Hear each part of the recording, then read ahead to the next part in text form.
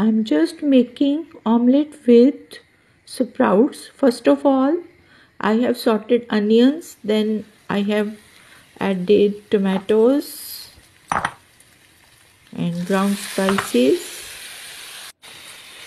Then mix onions and tomatoes well.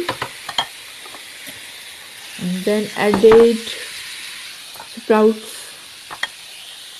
After adding sprouts, I have cooked for 3-4 minutes. Then I have beaten 3 eggs or you can just make omelette of 2 eggs as per your requirement. So ours onions and sprouts have been sorted well. Now mixing them well I have added beaten egg sorry.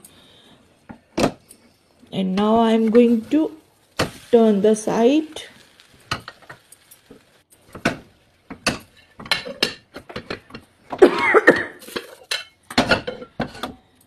Now our sprouts yummy omelette is ready to be eaten with tomato sauce. You too can try this sprouts omelette